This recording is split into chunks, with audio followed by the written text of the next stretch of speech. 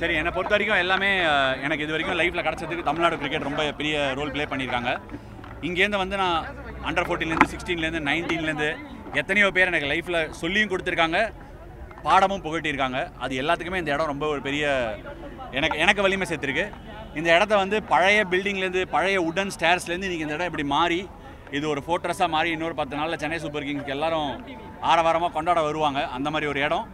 என்னோட உயிர் உடல் எல்லாமே இங்கே தான் டெஃபினட்டாக இருக்குது அண்ட் நீங்கள் என்ன இந்த மாதிரி கூப்பிட்டு பாராட்டினது என் லைஃப்பில் யார் பாராட்டியிருந்தாலும் சரி இப்போ டிஎன்சி இந்த மாதிரி பண்ணதுக்கு எனக்கு ரொம்ப ரொம்ப சந்தோஷமாக இருக்குது ரொம்ப எமோஷனலாக மூமெண்ட் எனக்கே பண்ணிடுறேன் சார்.